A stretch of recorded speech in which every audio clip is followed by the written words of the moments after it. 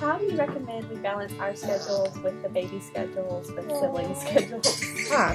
Well, it's going to be really hard in the beginning because most moms have this rose-colored glass vision of how things are going to go, mm-hmm. but your kids have the master plan and you don't know it. so you're going to have to live by a schedule in the very beginning. And you're going to have to live by a visual schedule that everyone can see. Mm-hmm. Because what's in your head, people can't get it out. So you need to let everyone in the house see it so you don't get mad at your husband or someone who's helping you because they don't know what you're trying to implement. And don't beat up on yourself because my baby boy is not getting the same love that you gave to your first one. Don't feel like you're neglecting the baby, giving him to someone else. Mm-hmm. That gives you the opportunity to share your time with your older ones.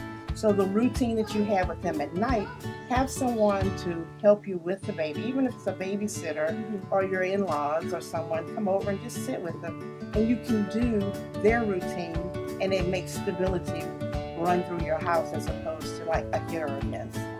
Okay? Does that help you? It does. Okay.